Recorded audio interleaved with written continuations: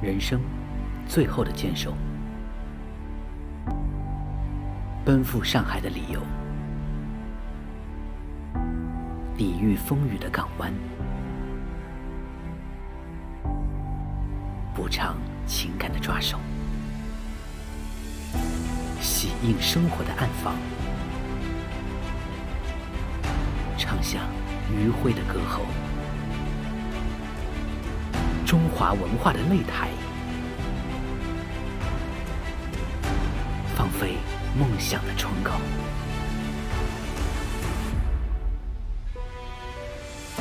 一家店，小小光阴，海海人生，或为锚点，或为火种，在颠簸里安放今夜，在困顿中照亮征程。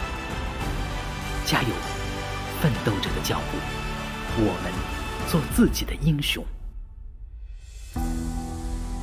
城小店，灯火一片，你中有我，相互点赞。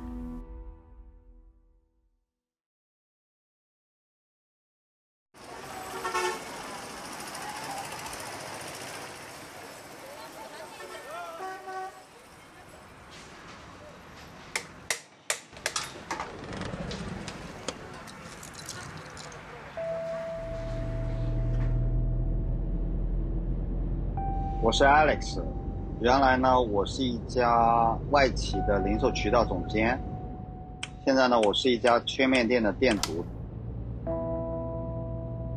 我原来我在我们公司非常非常 top 的那种人，就 top sales，团队七十多号人，薪水税前一百三、一百四。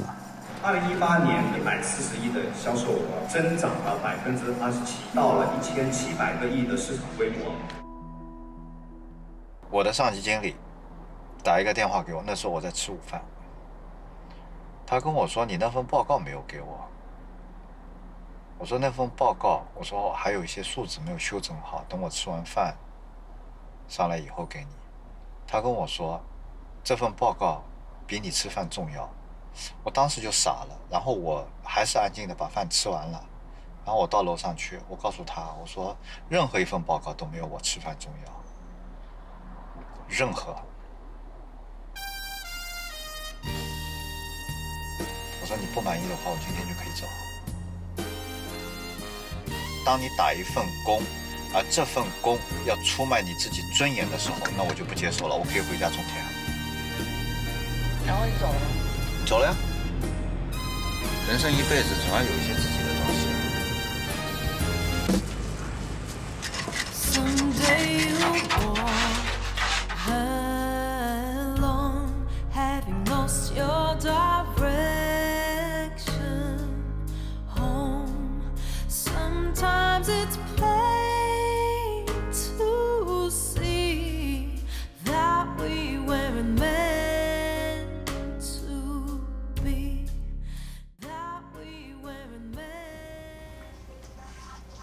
离开职场创业开店已经快两年了。为了方便，Alex 在面店附近和别人一起合租了一套房子，他一个人住其中一间，面积十平，厕所公用。这是憋不住了。嗯，憋不住了。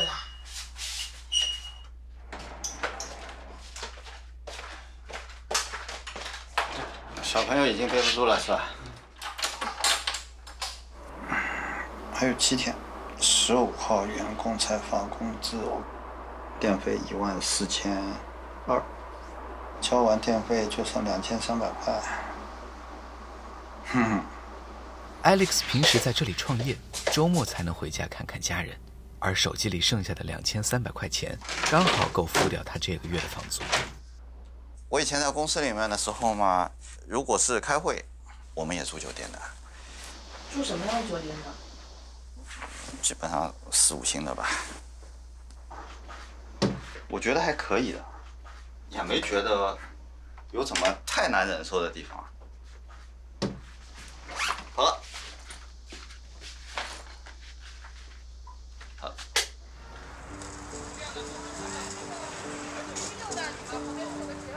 哎，阿姨好。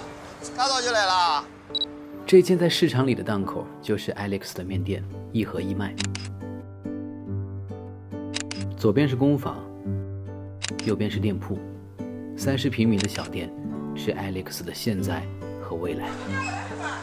辣盖辣盖，伊辣盖处理事体，楼浪向辣盖漏水，我进来。哦，那还漏水对吧？哎，它上面还在漏水。老婆，阿姨在外面找你找了很久。听到歌啊，文文，九零后，安徽人，三个女儿的宝妈。文文负责线下售货、线上接单、快递发货、售后运营，以及给 Alex 拍抖音。我们家的五口人，然后三个地方，孩子在安徽，他在江苏，我在上海。周阿姨呢？周阿姨去售货了。周阿姨，六零后，安徽人，卖过保险，做过家政，如今在 Alex 的店面负责送货、打扫卫生以及制作酒酿。你是他第一个，我是他第一个员工。阿姨你要吗？你给我拿点抽料，好，老虎鸡汤两盒骨汤。我问一下。汤面白汤水喂，这谁干的？这谁干的呀？啊，你跟他们所有讲清楚啊！如果谁开空调，我们店里漏水承担赔偿责任。Alex 以前考虑数据和变现，现在负责浇头和做面，以及 PUA 员工。昨天我又忘了一件事了，老年痴呆了。又老年痴呆了？啥事？你让我把那个回流拿出来不放。哎呀，这不是很正常的吗？我已经很习惯了嘛。哎，文文，你有你有没有犯错误啊？犯了，犯错误了，犯了什么错误？啊虐待我们的顾客了。上海人讲究腔调，辞职开面店，Alex 也要做的不寻常。不懂配方就花上万元买专业的论文，边做边学，不断尝试。两年过去，店里的面有数十种，不少都是独家配方。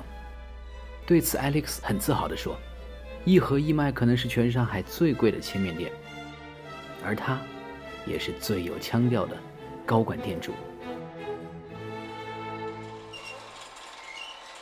我们卖的比别人贵有几个原因，就比如说外面的切面店，他们做面皮应该不用蛋吧？我们有非常高的鸡蛋含量，就是全麦粉，粉里面有麸皮的。有顾客买了我们这个面条，在大众点评上给我们差评，说我们面条发霉了。其实不是发霉了，因为他从来没有看见过镶嵌麸皮颗粒的面条。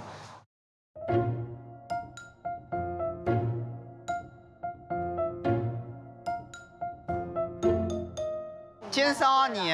侬是想钞票想疯脱了侬啊！没搿能介抢钞票的好吧？搿是饺子皮，外头四块一斤，便宜点的地方三块五一斤。在一盒一卖三公里范围内，有将近十家切面店。我们决定去最近的一家看看。啊，老板，我问一下，你这里的面是多少钱一斤？四块，阳春面，这是粗面，这是宽面，全部是四块。就是如果一斤面卖十几、二十块钱，您觉得贵不贵？贵啊！那面条那那什么面？哎，我们饺子皮卖多少啊？水饺皮，十五块六一斤啊。这个两盒，这个两盒，这个两盒，对三份儿。好的，可以的。两。我要带到杭州。我知道，我知道。我们的顾客一开始是从骂我们，一直到叫我们不要走的。那个时候每天早上我爸六点来的时候，门口都排了好长好长的队。你来我店里面有什么你买什么，你没办法，因为我店不备货的，这我做啥你们吃啥呀？他整宿整宿的就干，整宿整宿的干，就那也干不上，就是供不应求，感觉的。一品中的爱马仕呀。带着这种猎奇的心理来的嘛，是不是要来吃两口？下下出来的面汤都干净的。它的皮是净下，面条也净久熟。我想把这个店做成一个人尽皆知的冷冻主食店，全上海五到十家旗舰店，我可能就做下一个三全，下一个龙凤，下一个湾仔码头。跟跟 Alex 就是感觉他有奔头，因为他非常睿智，就是我们我和文我们两个都是很敬畏他的一个才华。Alex 很喜欢艺术，就连压面机上也挂着梵高的画。文文说他不懂艺术，但他想知道，梵高吃不吃面条啊？如果不吃，也不会饿，因为梵高一定还能吃到 Alex 画的饼。未来我要有一个自己的农场，就靠一根根面条，一张张馄饨皮。我们把那个游客扔掉的矿泉水瓶啊，还有薯片的壳子啊，捡一捡。所以阿姨以后的工作就跟着我捡垃圾。文文，报一下账，到现在都几点了？才做了多少钱？都十一点二十八了，开玩笑。今天做了两百八，嗯然后美团做了一百零三块，然后就就完蛋了。到了吗是鸭蛋，大完了众点评鸭蛋。那你完蛋了，你今天完蛋了。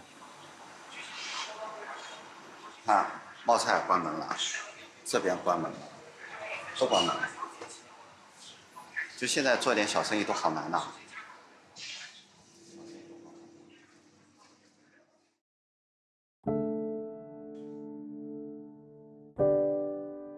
一天要一千八百块钱，低的时候一天就做四五百块钱生意。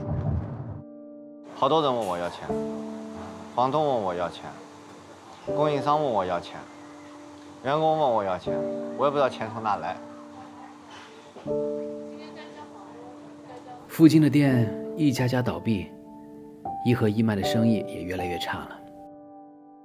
没有人知道是为什么，也许是因为后疫情时代消费降级，也许是因为外卖和预制菜。有时候发完员工的工资，Alex 就要靠家里来补贴了。我靠回家领零花钱了，我昨天领了五五千块，五千，多少？五千？五千。是不是五千？哎呀，我创业的那个时候很幼稚，用了一整套的 PP 来论述。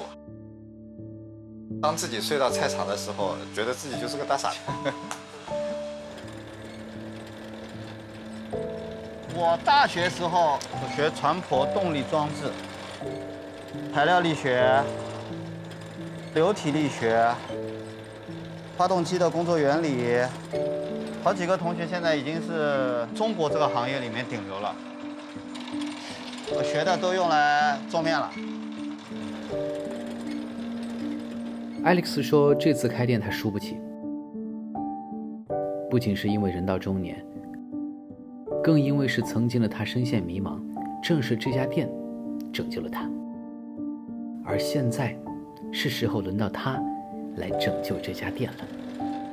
从职场出来，我有非常非常严重的抑郁症，对任何事情没有兴趣，晚上失眠，然后情绪很糟糕，你会觉得在精神上非常的痛苦。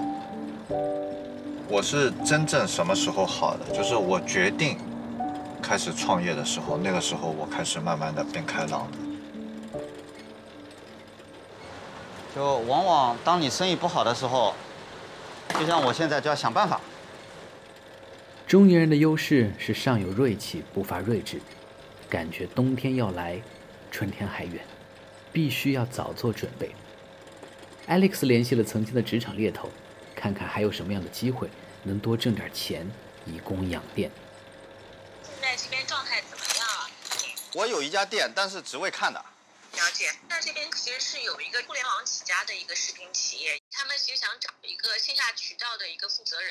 我能简单了解一下 Alex 你过往的一些这个情况啊、履历啊？过往的履历你不是都很清楚的吗？哦，我我想起来了，你有三年疫情没跟我通过电话了是吧？对的，对的，对的。嗯，我开了一家店叫一盒一卖，这家店是全上海最贵的切面店，现在目前是创业阶段的第二十一个月。了解。对于职场啊，对于创业这一块，您的两者之间有没有倾向性呢？我我我觉得我两头都可以做呀，给我大概两三天时间做个准备，然后我们约个时间，我们线下见，好不好？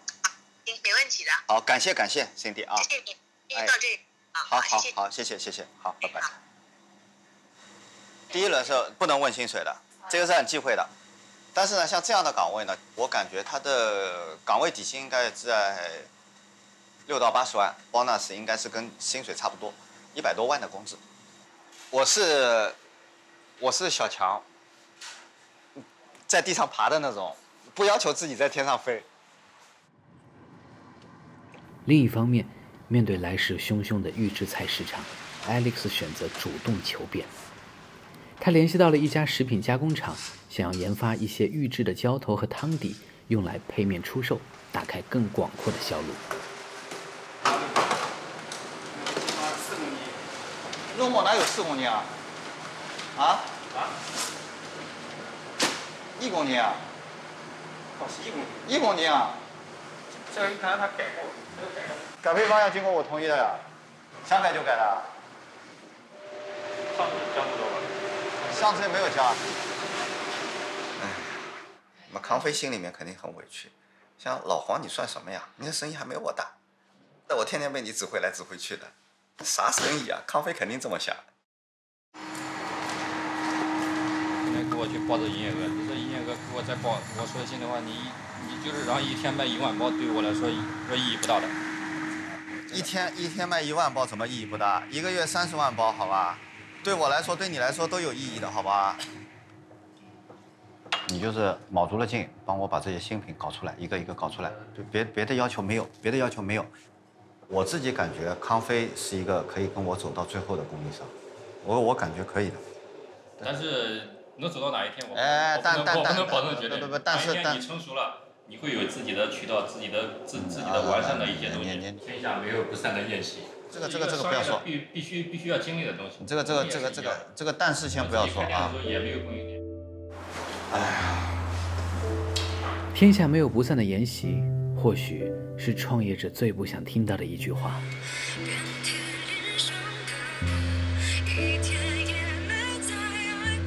那天阿姨在我下班的时候跟我说，她要走了，然后我问她啥原因，她不讲。哎，天下哪有不散的宴席啊？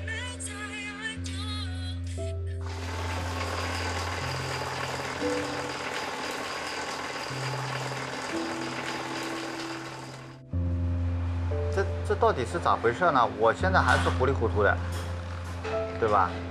没没啥事儿，对吧？就是这这这这咋回事呢？这个是就是干的不开心了，有点不开不太开心。哪哪哪里不开心了？我我我让你不开心了？太压抑，太压抑。我我让你太压抑了？没有没有没有没有，你是最好的一个老板。那我又没有让你不开心，我又没有让你太压抑，那到底为啥嘞？嗯。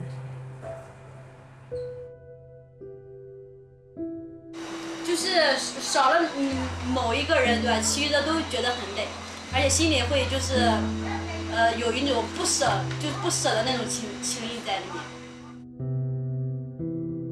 门庭冷落，爱将离职。这个冬天对 Alex 来说是雪上加霜。我估计呢，就是说他外面找到了一个比这边更好的工作，还有一种呢，就有可能就到我们同行那边。所以他就就没法跟我讲，我感觉他这根本没法跟我讲，那我呢就去找人就好了。开玩笑嘛，我还是有杀伐决断的一面的，好吧啦。这么多年外企做过来了，什么场面没经过啊？这这点小事情，就希望阿姨归宿好一点。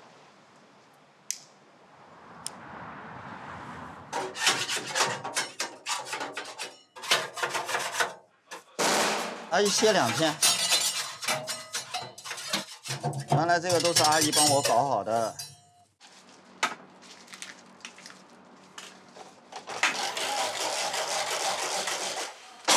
这这种日子我也过过的，啊，原来在里面一天做两百块的生意，所有的事情一个人干，所有是所有的事情，要视困难为机会。当你这个题目做出来了以后呢？就是你的生意就会变稳一点点。当这一条题目做出来，这生意再稳一点点。就老天爷就是这样帮助别人创业的。平时住在出租屋，只有周末才能回家。这是 Alex 难得的放松时间。除了远离工作的轻松，更多的是陪陪女儿。一个礼拜见爸爸几次啊？一次。一次，老不满意了。这，好了好了好了。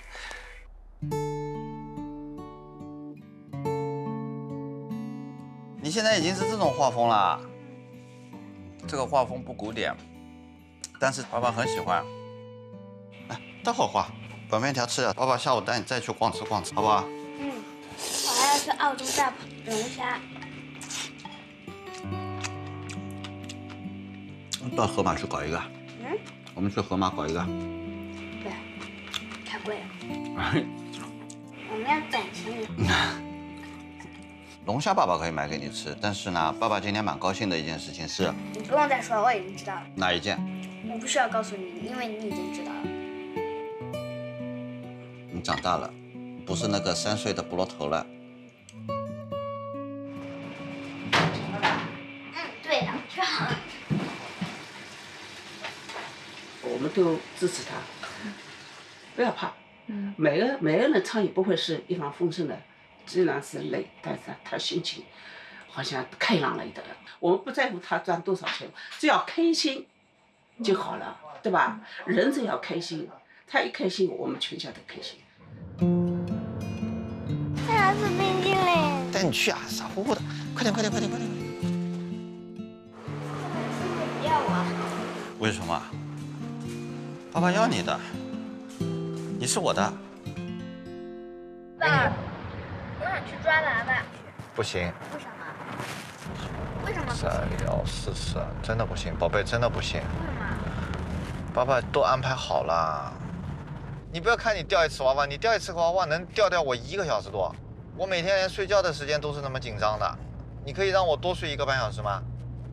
唉，下个礼拜啊，下个礼拜我陪你去钓。今天不行。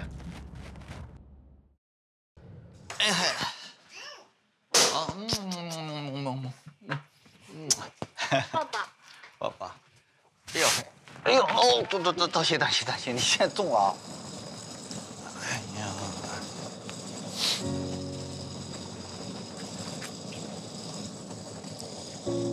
其实你们问我为什么一家小店不赚钱，我还做的那么 happy，其实叫什么心怀希望，乐在其中。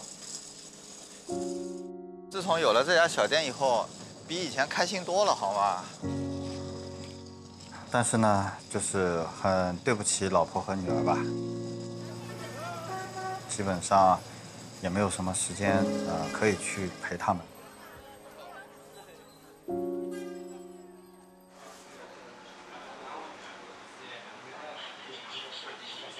我昨天晚上熬夜给女儿剪视频了，虽然很粗糙，但我剪完以后 更想女儿了。我给你看一看。爸爸在烧面，吃的好特面，然后我这个是我在吃，嗯，这个是我做的好好吃的，很好吃的面，啊，这个是很光滑很好的虾皮。刚才 Alex 放他跟他女儿的互动，哎，我感觉心里可难过，那一段我真的好想讲。阿姨在这边，大女儿跟她一起住。Alex 呢想回家，就是下班再晚打个车就回去了。我呢，就一个人。生病的时候，我跟你说，那半夜想喝口水都费事。Alex 啊，哎，隔壁来了一个。阿姨啊，啊，啊，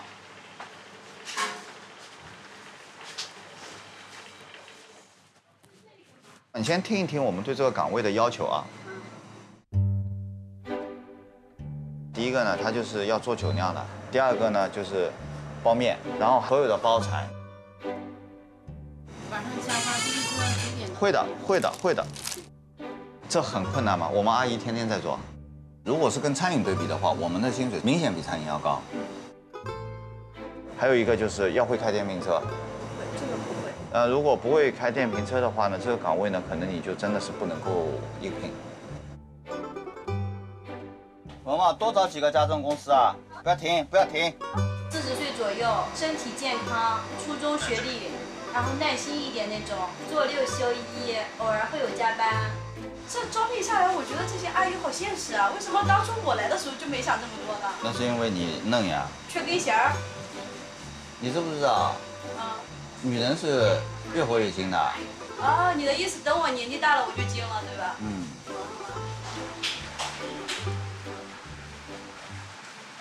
我以前在公司里面上班的时候，早上九点钟进公司，晚上十点钟、十一点钟下班，连轴转。你跟老板去说我要加班工资，他会理你吗？不会理你的，这个就是现实。你就问你要不要这份工作，就这么简单。你你如果是觉得你不要加班，你没错，但问题是你要去寻找符合你目标的这个公司，你找到那份工作就好了。啊，小店主找到自己合适的员工就好了。就是这个这个样子，那就是很现实的事情。结束了新阿姨的面试，Alex 赶着去见猎头。你没看很多互联网大厂都说，到了三十五岁就该退休了嘛？这是很荒谬的。我是觉得六十岁之前都有竞争力。你跟甲方去讨论一下吧。就我从整个岗位上面来看呢，我觉得 OK 的话呢，多打一份工也也可以，因为我我还有合伙人，他们可以管店的。嗯，互联网的公司这边可能会想要一些，就是说，啊，想法比较多的一些年轻人这样子。然后线下渠道的话，呃，可以试一试啊，可以试一试。啊，你怎么看？年纪，年纪，然后还是年龄大。年纪之外的话，其实更多是。拍不掉，他太拍不掉我。每一个到了我这个年纪的人，需要告诉自己一句话，就这个不是你的错，它是企业的问题，或者是整个市场的问题。企业是随行就市的，我能够找更便宜的人，我能够找更年轻的人。临近中秋节，小店没有找到合适的阿姨。Alex 也没有面试成功。我们生活在一个多元的时代，衡量一个人的价值标准也变得更加多样。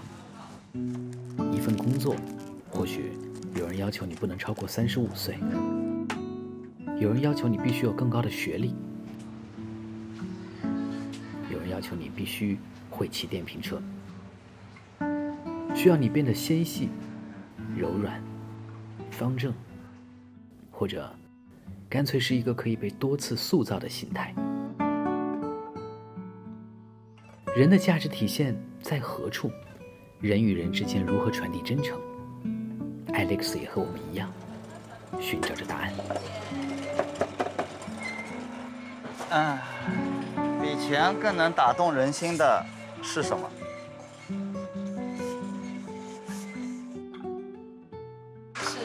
相处的那一份诚心，钱固然是重要，但是我觉得啊，还是人与人之间的相处的一个真诚，能打动人。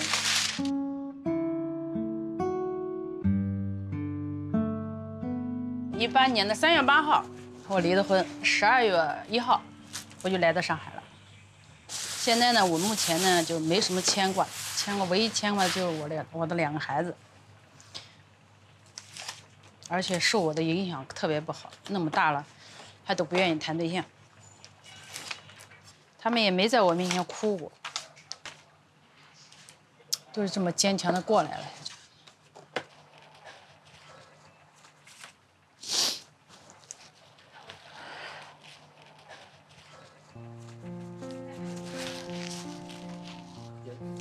想女儿？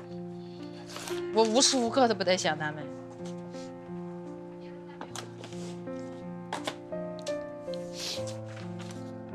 其实我真是舍不得这个一和一曼，毕竟和他有感情的。出来闯荡那么多年了，孩子们呢也没有单独的一个时间，就是想多陪伴他们一点。阿里克斯说：“你回家去给他们当老妈子。”是的，我回去确实是给他们当老妈子。你这是困了，你那个？不是啊。我好想你啊！你可以想妈妈。想。给你打包寄过来行？不行。你仨就是治愈我唯一的良药，是我觉得我坚持不下去唯一的动力，知道吗？好，我先挂住了哈，我先挂住了，我要干活了，我要结束了。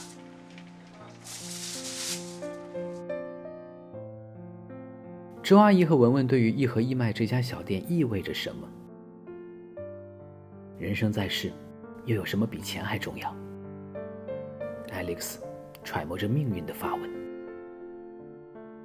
阿姨和文文两个人啊，他们干了一年多了，就对于我来说半个家人。我不会说好话，像人家跟员工说的那些话，我讲不出来。你说的这个陪女儿这事儿呢，其实是挺重要的。那如果是说阿姨回去做了一两个月的老妈子，她要是不不开心了，那回来干活也行。我们这店只要有营业收入，养得起，那阿姨就在这里养个老，我就这么讲。回来回来一和一卖干活，到老了跟我一块捡垃圾去。跟我捡垃圾不太好，阿姨你就跟在后头，哆哆哆哆哆哆，对吧？随随拐问还哆哆哆，随随扔随着。在命运的坐标系中，我们时常感叹造化弄人。宝妈文文来到上海打工赚钱，只为了三个女儿能过得更好一点，就像年轻时的周阿姨。单亲妈妈周阿姨却在晚年辞职，放弃赚钱，用接下来的时间陪伴女儿，像更年长的文文。Alex 中年裸辞，放弃了高薪的工作，放弃了与家人的团聚，创立了一家小面店，投入了全部的热情和精力。一家店，三个人，先后踏入同一条河流，寻找着各自人生的答案。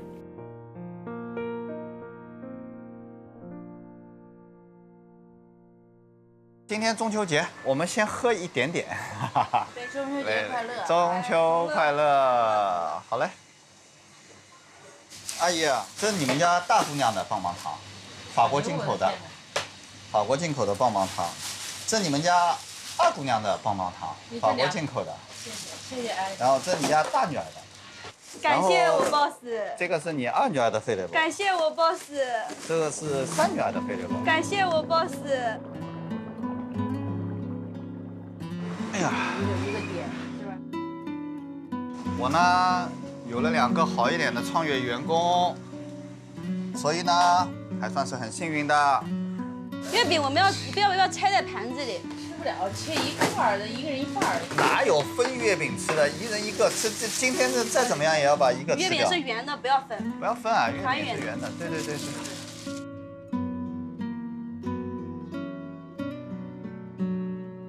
这在在火锅里吃，我感觉更有滋味。嗯，好吃好吃好吃。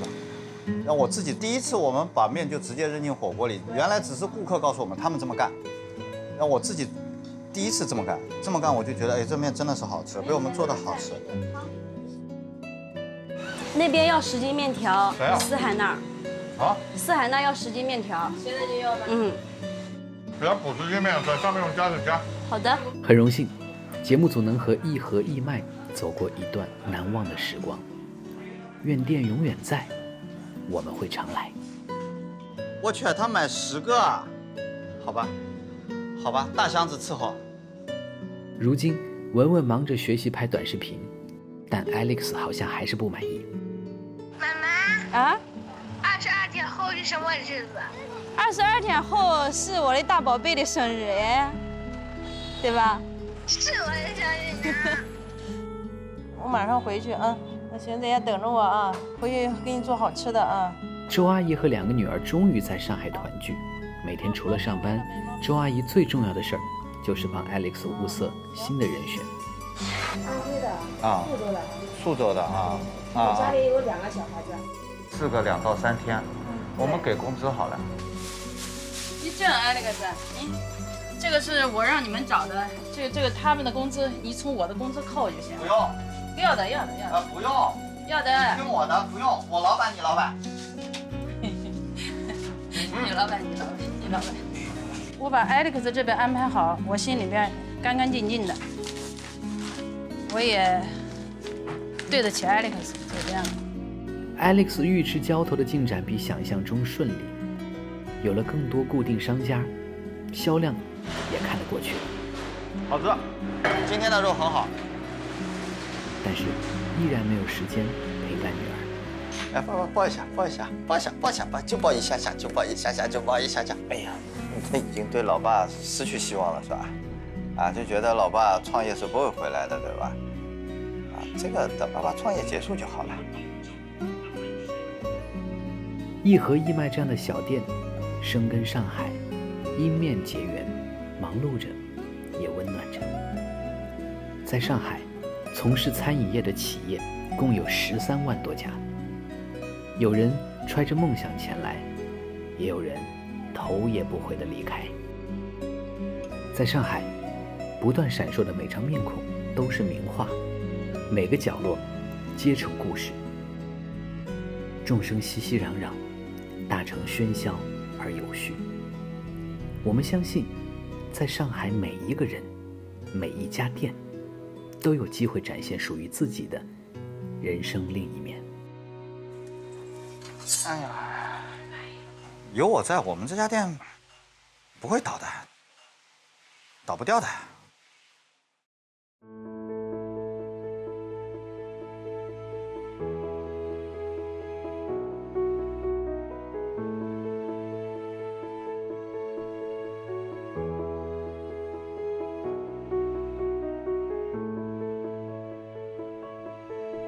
节目精彩资讯尽在新浪娱乐微博综艺新浪综艺，上新浪新闻客户端搜索“加油小店”，看节目更多精彩内容。